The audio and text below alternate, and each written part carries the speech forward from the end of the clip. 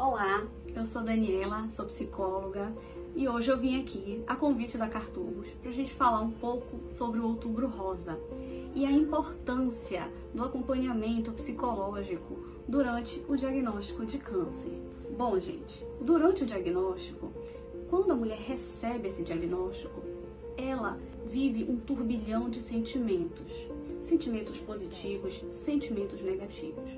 Para isso, ela precisa se organizar, entender e acolher todos esses sentimentos, positivos e negativos, para que ela possa conseguir enfrentar de cabeça erguida tudo que ela vai passar nessa nova fase da vida dela. No diagnóstico de câncer de mama, o que mais preocupa as mulheres é a questão da vaidade.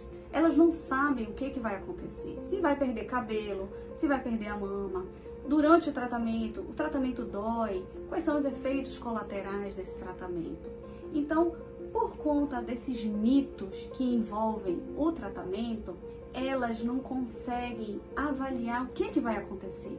E isso traz muitas dúvidas e durante esse diagnóstico, o primeiro, o que acontece primeiramente é a questão do luto. Elas entram em luto, não aceitam o diagnóstico, procuram outros profissionais.